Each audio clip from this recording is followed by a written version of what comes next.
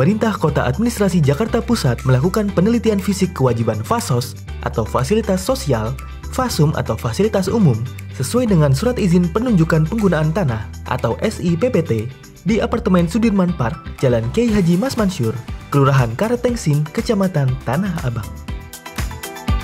Kepala Bagian Penataan Kota dan Lingkungan Hidup atau PKLH, Kota Administrasi Jakarta Pusat Martua Sitorus mengatakan, kewajiban tersebut berupa konstruksi jalan dan lahan dari PT Surya Gading Masakti. Namun, untuk lahan sudah diserahkan kepada Pemkot Administrasi Jakarta Pusat. Ia pun berharap penyerahan kewajiban ini bisa cepat diserahkan dan bisa segera dimanfaatkan oleh masyarakat.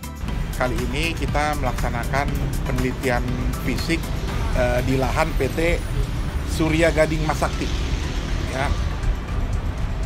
Ya. Rencananya uh, penyerahan kewajiban ini berupa lahan dan uh, konstruksi jalan lahannya sudah diserahkan, namun sekarang tinggal konstruksi jalannya.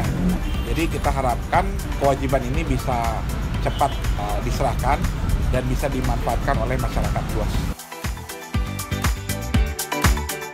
Tim Komenfotik Jakarta Pusat mengabarkan.